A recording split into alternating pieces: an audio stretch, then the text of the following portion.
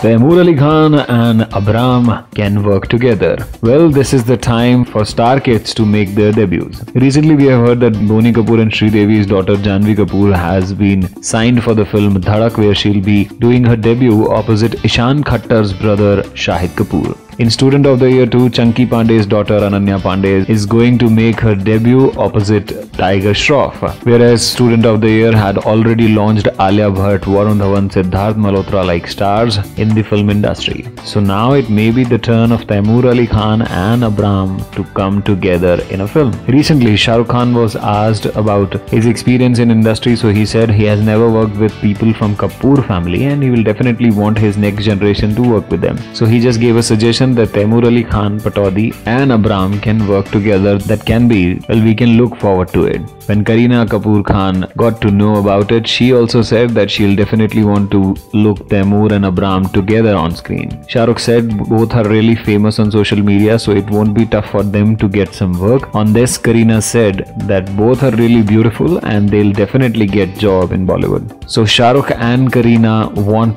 Taimur and Abram to work together. Maybe they're very good friend Karan Johar can make a film and cast both of them together in a film.